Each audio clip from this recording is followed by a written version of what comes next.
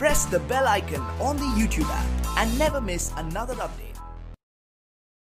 असलकुम welcome to my channel technical चलिए शुरू करते हैं। तो दोस्तों, अगर आप अपने मोबाइल में गूगल ड्राइव से फ़ोटोज़ वीडियोस या फिर डॉक्यूमेंट्स वगैरह अपलोड करते हैं और अपलोड करने के टाइम पर आपको वेटिंग फॉर वाईफाई का प्रॉब्लम देखने को मिलता है तो इस वीडियो के अंदर मैं आप लोगों को इस प्रॉब्लम को फ़िक्स करने का तरीका दिखाने वाला हूँ। और दोस्तों, इस प्रॉब्लम को फिक्स करने के लिए आपको लेफ़्ट साइड में ऊपर की तरफ़ थ्री लाइंस पर टैप करना है और सेंटर में सेटिंग्स वाले ऑप्शन पर क्लिक करना है। अब यहाँ लास्ट में आपको transfer files only over wifi का एक ऑप्शन मिल जाता है।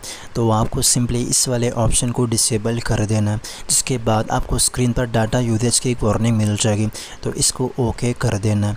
और दोस्तों, ये प्रोसेस करने के बाद अगर आप गूगल ड्राइव पर फ़ोटोज़ वीडियोज़ या फिर डॉक्यूमेंट्स वगैरह अपलोड करते हैं तो अपलोड करने के टाइम पर आपको वेटिंग फॉर वाईफाई का प्रॉब्लम देखने को नहीं मिलेगा।